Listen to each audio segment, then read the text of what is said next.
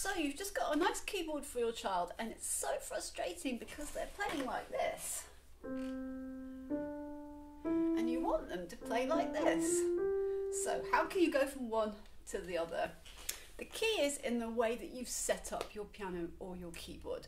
So what you need to do is absolutely crucial to get it the right height because if it's too high, the child will be sitting like this and their wrist will come down like this.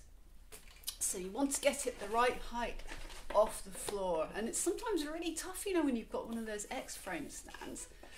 So my piano that comes on a stand is 72 centimeters from the ground. So first thing, get a tape measure and measure the stand and measure that it's at the right height. So once you've done that, number two, make sure that you get a bench that's the right height too. I'm actually going to show you mine. So mine is like one with wheels on the side of it and that helps it to go up and down and this helps you to get it at the right height. And number three, your child might need something to rest their feet on so they're not dangling. So I've got this yoga block, maybe for kids that are like eight and nine, and for littlies that are like four or five. I've just got one of these. You can just buy these for like seven pounds from Amazon. They're the, the steps that children use sometimes to access things like the loo and stuff. So you've got that.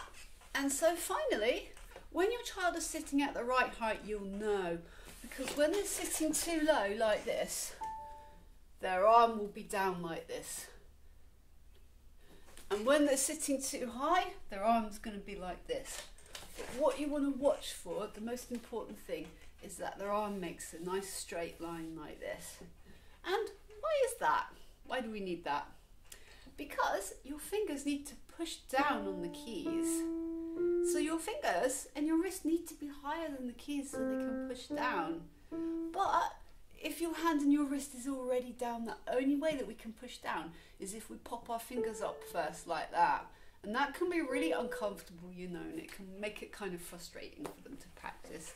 So I hope that's helpful. Yeah, just make sure that you've got your keyboard or piano set up really nice before they play and they'll get so much more enjoyment out of it.